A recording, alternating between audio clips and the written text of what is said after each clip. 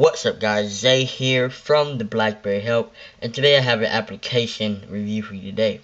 Sorry I haven't making much videos, but I'm working on my app development website. You go check that out, itouchapps.com. Go check that out. And this application review is an application called BuzzMe. Now BuzzMe is an application that allows you to change your LED color up here to change the different colors.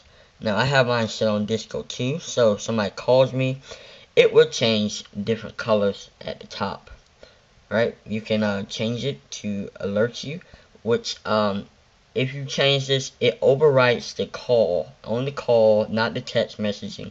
It overwrites those profiles. So you want to make sure you set this right. So if you're in school or something, you don't want that tone to go off, and you don't want a long vibration either if you're in school like me. Um, two second vibration, that's a long time. So I'll just put it on uh, 0.5 vibration in your school or just turn the vibration off. Um, this is a great application. I like it. Very uh, user friendly interface. Um, nice application. Now, if you want to do for your text messages and email to change that, you have to upgrade to Pro. Now, this is not the Pro. This is the standard free version in the app world. Um, you think the Pro version, I think it's $2.99. Correct me if, I, if I'm wrong. But this is a great application for your BlackBerry, alright? This is Zay from the BlackBerry Help. Peace.